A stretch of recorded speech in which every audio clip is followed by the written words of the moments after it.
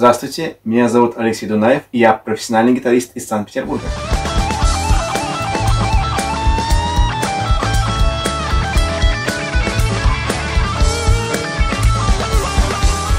Я участник нескольких трибют-проектов.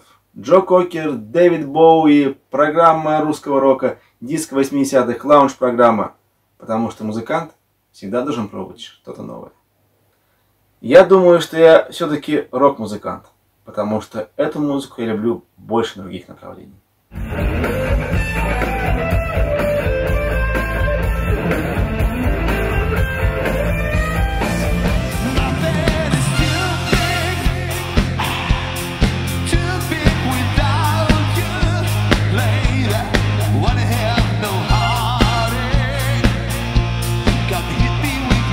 Мой преподаватель говорил, что гитара – это такой инструмент, который позволяет музыканту создать свое произведение внутри чужого.